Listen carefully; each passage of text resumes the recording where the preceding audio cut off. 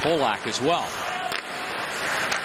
Polak hanging back at the left point. Sharpshooter Polak with a couple of goals in this game. Uh, the second one was actually tipped, but they haven't taken it away from him.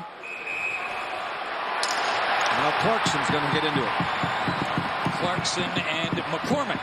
McCormick's been around it all game trying to win a job.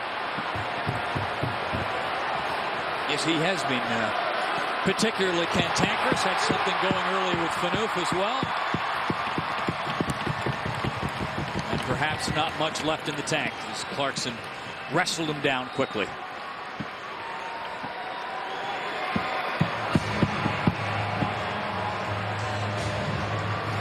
Clarkson took a pretty hard one there right in the chops. Cormick's a tough customer.